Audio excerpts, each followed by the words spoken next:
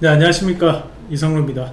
자, 저희가 강부자 방송 한국경제TV에서 목요일 밤 9시에 어, 진행하는 제가 단독으로 진행하는 강한 부자 만들기 프로젝트 방송이 대히트를 치면서 저희 직장인 문자반 서비스를 오픈을 했습니다.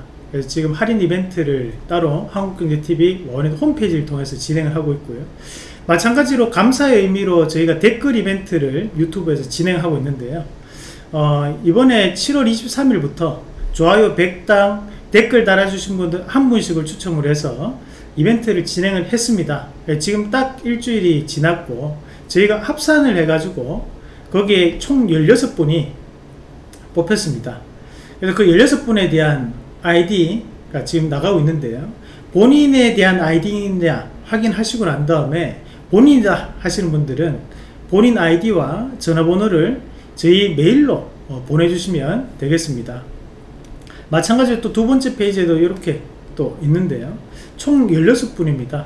어, 확인을 꼭 하셔가지고 여기에 해당하시는 분들은 저한테 연락을 주시면 제가 어, 여러분들께 쿠폰을 보내드리도록 하겠습니다. 자 그리고 마찬가지로 7월 어, 30일부터는 저희가 영상에 또 다른 이벤트를 또 진행을 할 텐데요.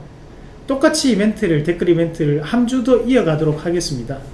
대신 좋아요 100당 친필 사인책 제가 직접 썼던 친필 사인책 한 권씩을 보내드리고요.